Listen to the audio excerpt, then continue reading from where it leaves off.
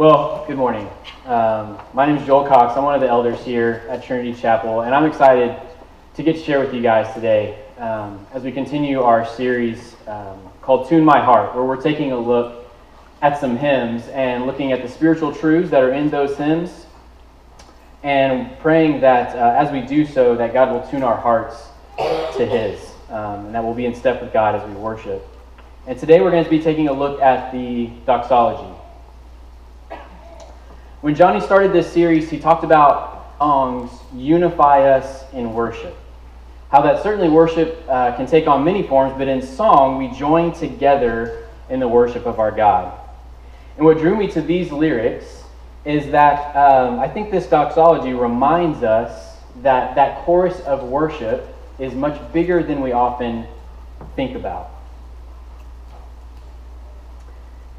And not we when we praise God, we not just praise God with everyone in this room, and not just with everyone, all the people all over the earth, but also with all of creation, and also with the angels.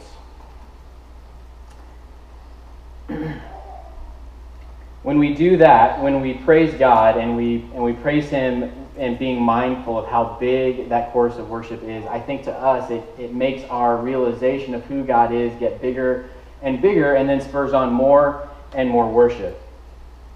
This is commonly called the doxology. There's actually a lot of doxologies, um, but this one is really common across the Christian landscape. And it was actually the last stanza written of two different hymns that were written by Thomas Ken in 1674. Ken was an Anglican clergyman and he became chaplain at Winchester College in southern England. He wrote three hymns for the students in 1674 to be sung each day, and he called those hymns morning hymn, evening hymn, and midnight hymn. The morning hymn and the evening hymns were the ones that ended with this stanza. A quick story on Thomas Ken. Um, he was very well thought of at Winchester College, and so he actually eventually became named chaplain to King Charles II. And at one point, the king was coming to visit him at Winchester College, and he sent a letter, and he told him that I'm going to be bringing my mistress, and she will stay at your house. And in those days, if you were to deny the king a request, it would certainly cost you your career, it would probably cost you your head. But he not only verbally objected, he hired men to come remove the roof from his house so that the mistress couldn't stay there. and in a surprise move, the king was actually impressed. Like, wow, okay. Uh, so he was actually impressed by his courage, so he kept him as his chaplain and eventually named him Bishop of Bath and Wells. So, just a little point for the good guy, I guess. as I mentioned, these lines were written into hymns that were sung every single day. For, so for the singers, they were a daily reminder of who they were worshiping, why they were worshiping him, and how big that chorus of worship was. And as I start, I actually, I actually want to start at the very end. I want to start with that word amen. We did a series a little over a year ago called Church Words. And I almost chose the word amen. Um, it's an interesting word to me. Um, and so I, I, hope you find it interesting too. I think there's a lot, a lot more there than I often think about. Just as it does here, amen usually ends things, usually prayers. And certainly growing up, I'm not sure I really ever thought about it, but I, like most kids, I think you kind of just mean, you think it means the end, or it's time to eat, or whatever. um, and even, even now, I've, I've learned through being in church that, that amen means something like let it be, or so be it truly. But in practice, how I use it, how I think we often use it, it's kind of more a, a sign to open your eyes back up and, and look up more than in, anything else. But I think there's power in what it means, uh, but even beyond what it means, in, in how it's supposed to be used. And some people, um, not many here, but some will call out amen or amen during, during a sermon. And I'm missing, unfortunately, missing my main guy here. But, um, and I think, I think they actually might be onto something. In, in the Old Testament, uh, the word amen was used as a congregational response to give a strong affirmation or agreement with what was being said. In Nehemiah 8, verses 5 through 6, we read Ezra opened the book, which is the Word of God, in the sight of all the people, for he was standing above all the people, and when he opened it, all the people stood up.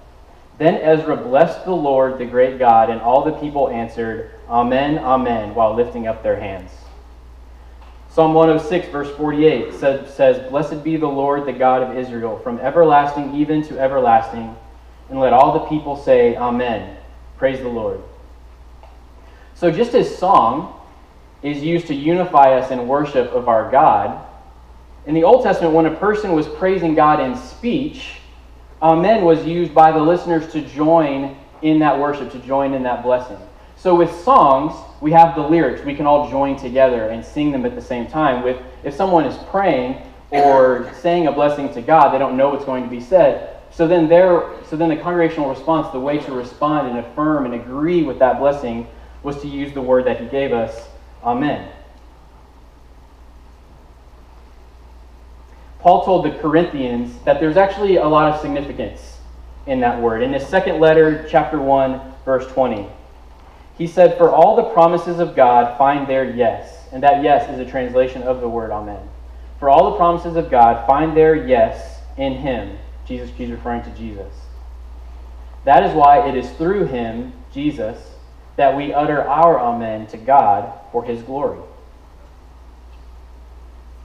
All of God's promises, his promise of unconditional love for you, his promise of for now there is no condemnation, his promise of his plan to give you a hope and a future, his promise that there will be no more death or mourning or crying or pain, they all find their yes, they all find their amen in Jesus Christ.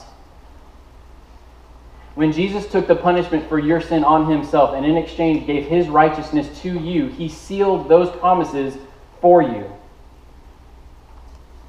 So when we hear a truth of God, something that resonates with our soul, something that reminds us and grounds us in the truth that we are deeply loved and that we worship a great God who said Amen to us through his Son, hearing that, we respond with affirmation, agreement, and praise with the word that he gave us.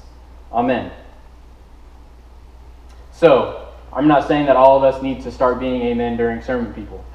But I am saying that I am missing my amen guy. And so, you know, just for today, give it a shot. Let me hear it. All right. Thank you.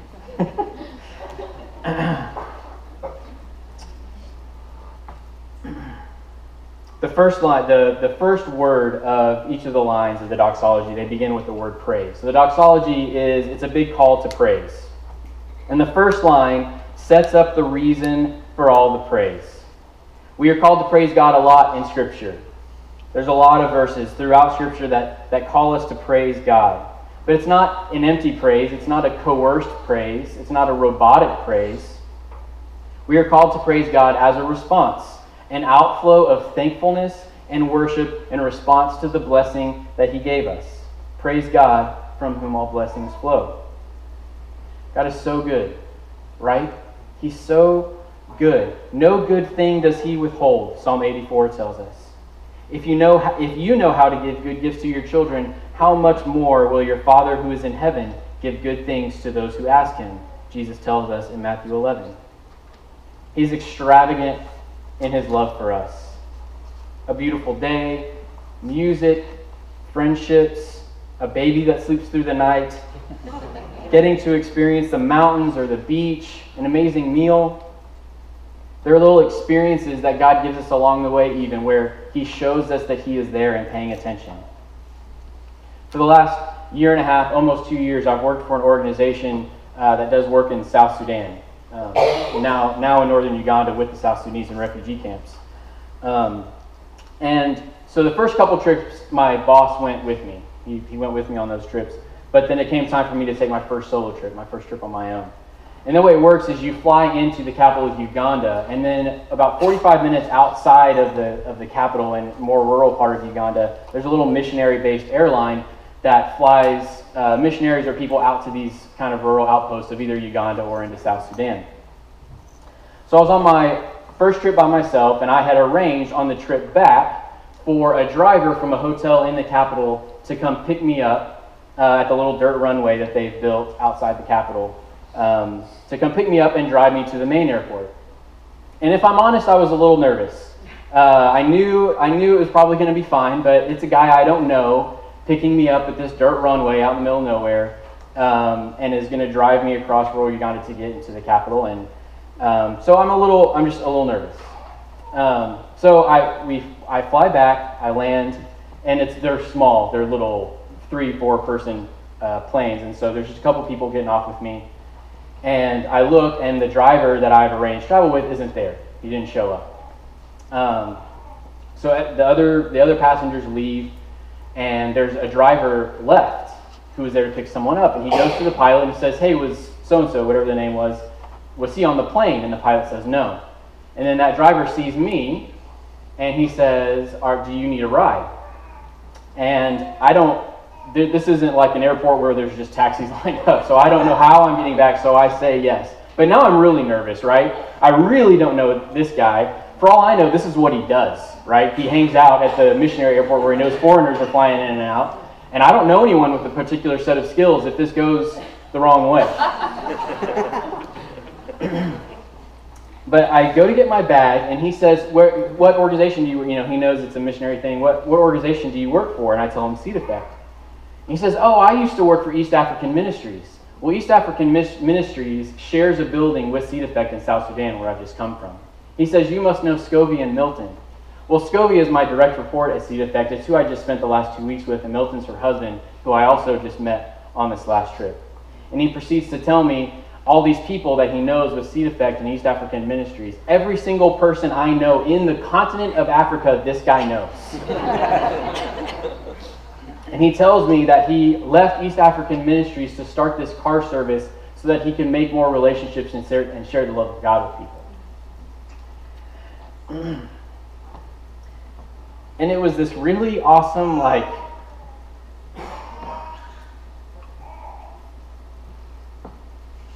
I've got you, you know?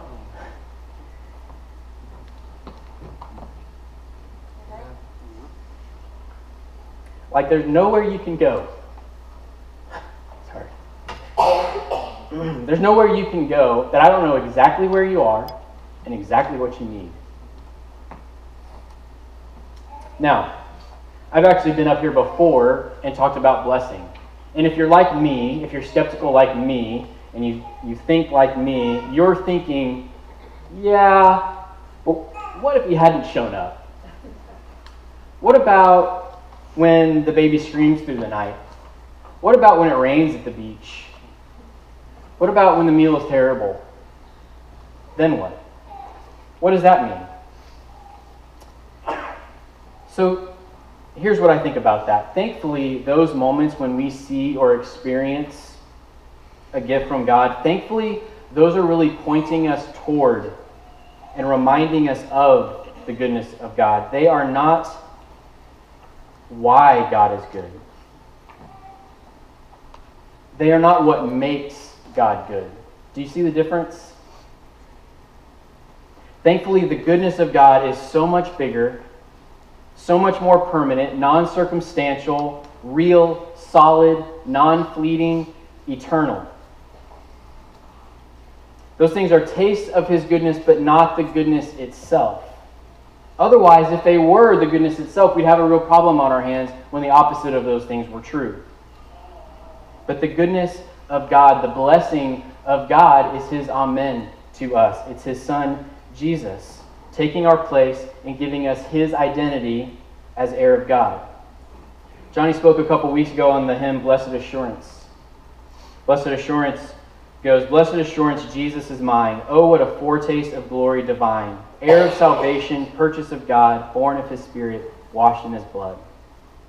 The New Testament uses the word blessing to refer to material prosperity or some good circumstance exactly zero times. Instead, we see, Blessed be the God and Father of our Lord Jesus Christ, who has blessed us in Christ with every spiritual blessing in Ephesians 1 3 we see that Jesus taught, Blessed are you who are poor, for yours is the kingdom of God. Blessed are you who are hungry now, for you shall be satisfied. Blessed are you who weep now, for you shall laugh. Blessed are you when people hate you and when they exclude you and revile you and spurn your name as evil on account of the Son of Man. Rejoice in that day and leap for joy, for behold, your reward is great in heaven. Those good things, those experiences, those times when, when we get to experience something good from God and, and see that He's active and aware. Those are great. Those are amazing gifts from God that show us that, that He is good, but they are not the goodness itself. They point to the real, eternal goodness, the eternal blessing. Vaneetha Risner wrote, Scripture shows that blessing is anything God gives that makes us fully satisfied in Him, anything that draws us closer to Jesus, anything that helps us relinquish the temporal and hold on more tightly to the eternal. And often it is the struggles and the trials, the aching disappointments, and the unfulfilled longings that best enable us to do that.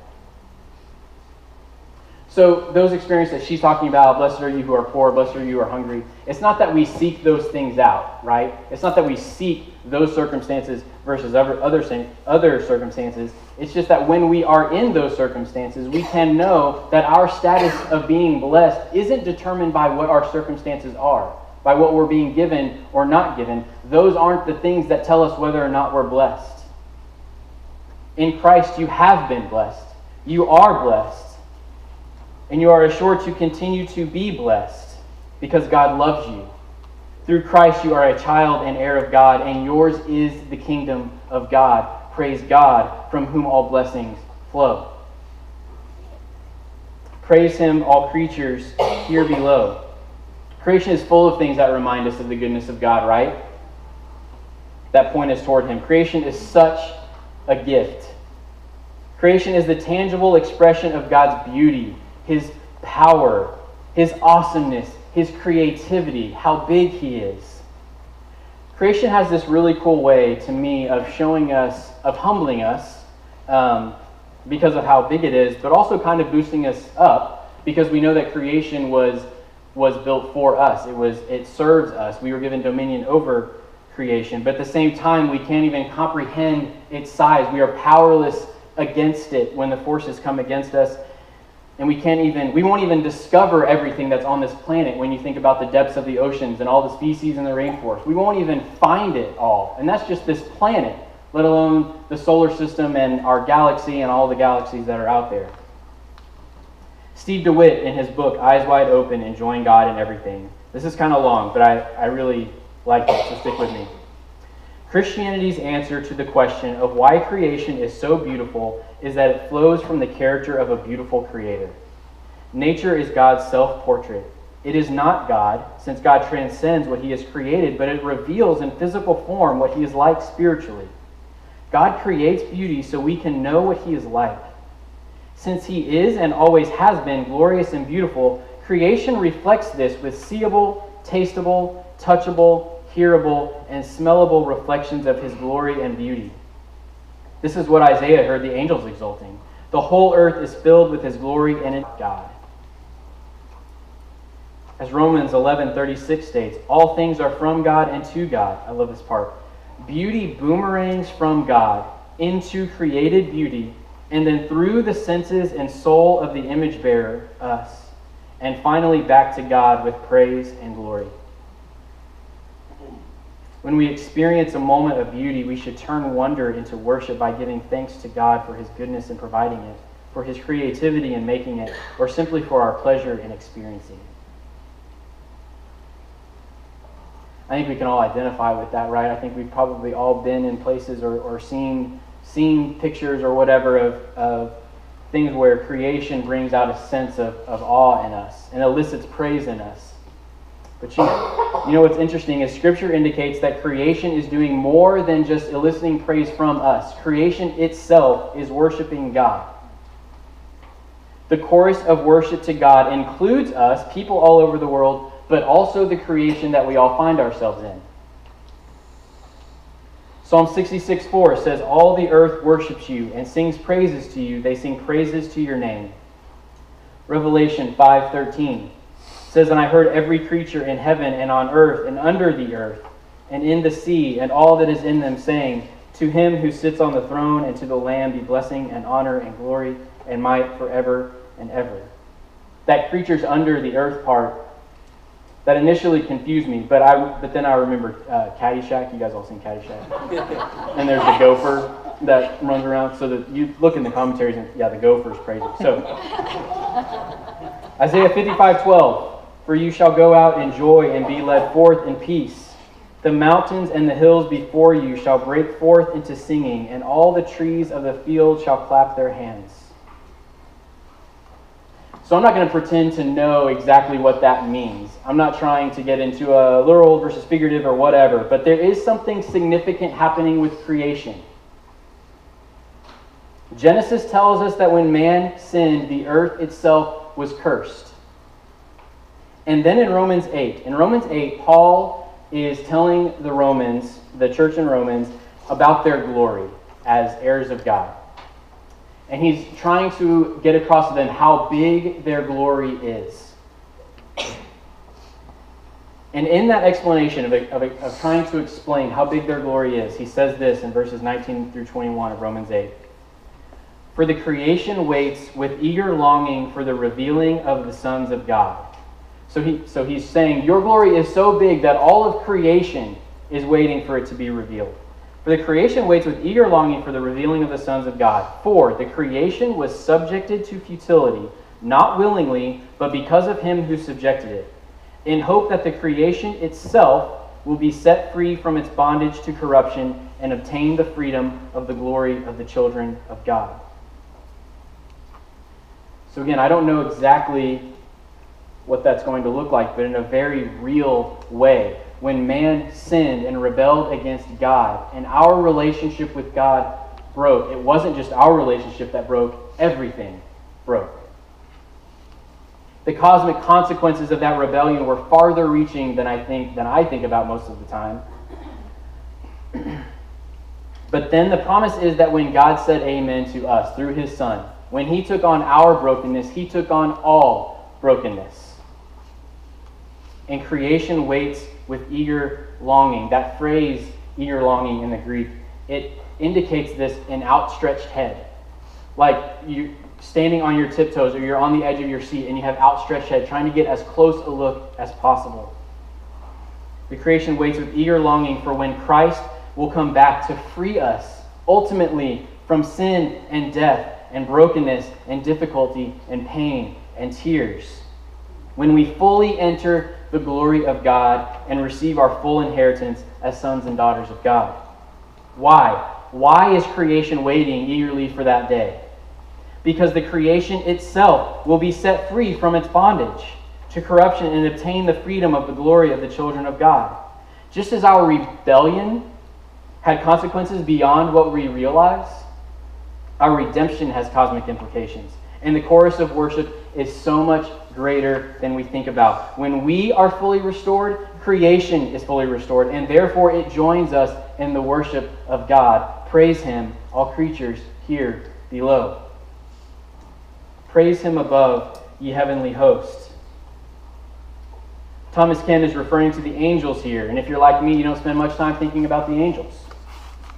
But in Luke 2 13 through 14, it says, um, this is the story, Luke is telling the story of uh, Jesus being born, of God coming to earth.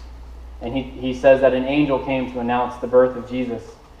And in Luke, he says, And suddenly there was with the angel a multitude of the heavenly host praising God and saying, Glory to God in the highest, and on earth peace, goodwill toward men. Psalm 148 2 says, Praise him, all his angels, praise him, all his hosts. Revelation 5:11 says, "Then I looked and I heard the voice of many angels around the throne and the living creatures and the elders, and the number of them was myriads of myriads and thousands of thousands, saying with a loud voice, Worthy is the lamb that was slain to receive power and riches and wisdom and might and honor and glory and blessing." Hebrews 1:6 says, "And again, when he brings the firstborn referring to Jesus there. And again, when he brings the firstborn into the world, he says, Let all God's angels worship him.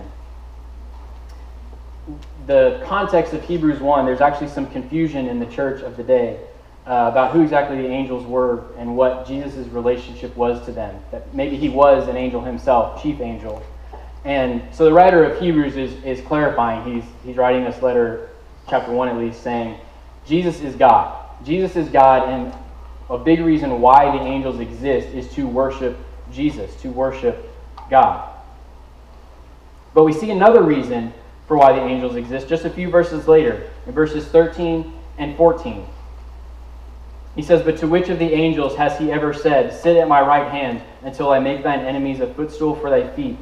Are they not all ministering spirits sent out to render service for the angels of those who will, for the sake of those who will inherit salvation? And Jesus tells us what brings the angels joy and brings out this worship in Luke. He says, Just so I tell you, there is joy before the angels over God, over one sinner who repents. So we don't have time to get all into spiritual warfare, but there is a battle going on, and the angels were created and exist to be ministering spirits sent out to render service for the sake of those who will inherit salvation, to battle on our behalf. And when one person trusts their life to Christ, there is great joy and worship of the one who made that possible, of the one who restores all things and redeems us and brings us into the kingdom of God. Praise him above, ye heavenly hosts. Praise Father, Son, and Holy Ghost. The symphony of praise, this, this chorus of worship that we've been talking about, it finds its origin in our three in one God of Father, Son, and Holy Spirit. Before creation, before us, before angels, before all of that, there was still worship being sung. There was still love being given in our triune God. Tim Keller has this quote So it is, the Bible tells us, each of the divine persons centers upon the others. None demands that the others revolve around him. Each voluntarily circles the other two, pouring love, delight, and adoration into them. Each person of the Trinity loves, adores, defers to, and rejoices in the others. That creates a dynamic, pulsating dance of joy and love.